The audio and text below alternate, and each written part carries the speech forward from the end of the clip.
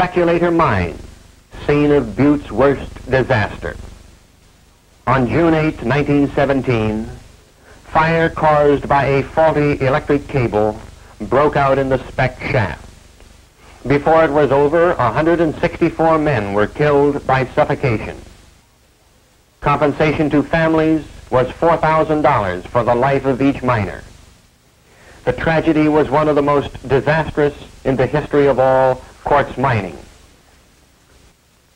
The bloodiest date in Butte labor history is August 1st, 1917. The industrial workers of the world were making headway organizing miners in wake of the speculator fire. Top organizer was Frank Little. Early in the morning of August 1st, 1917, gunmen broke into Little's room, tied him behind an automobile, and dragged him two miles down Butte Hill to the flats. His body was left hanging from a railroad trestle.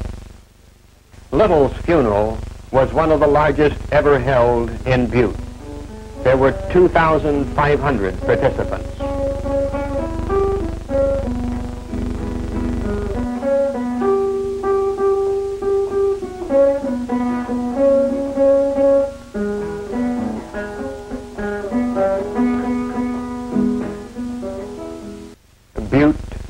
Is a city of death.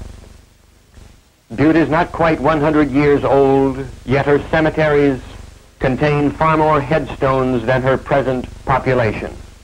The price paid in human lives for the 300 million tons of copper ore that have been torn from the stubborn Montana rock has been incredibly high.